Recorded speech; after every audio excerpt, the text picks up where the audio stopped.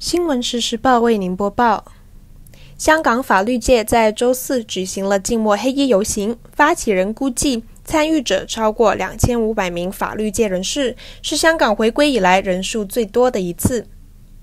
黑衣游行由三十位香港法律界选委和法律界立法会议员郭荣坚发起。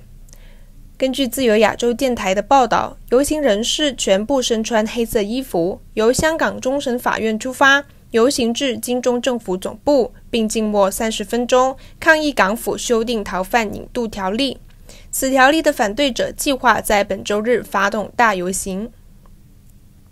郭荣坚说：“这一次法律界为何走出来，是因为我们希望香港市民看到法律界的声音，反对这个条例，认为这个条例破坏法治。这个立场是很清楚，所以我们希望市民今天看到我们法律界齐心走出来。我希望六月九日会有更多香港人走出来去维园。”香港职业大律师、民主派立法会议员杨岳桥也有参与游行。他表示，这一次港府修订逃犯条例将令香港法院左右为难。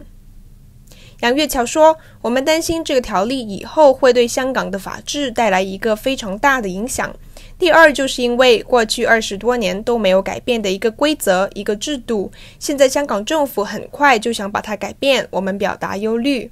特别是因为有法官表达了他们的担心，就是以后北京要想从香港拿人的话，香港法官会处于一个非常尴尬的位置。根据路透社的报道，有香港法官忧虑，如果阻止移交高调的疑犯，会承受来自北京的批评以及政治压力；但如果批准移交，又会有来自香港当地的批评，指控法官配合北京，司法独立形象因而受损。有法官形容修例将法官跟北京放在冲突位置，界内许多人都认为不可行，感到极为不安。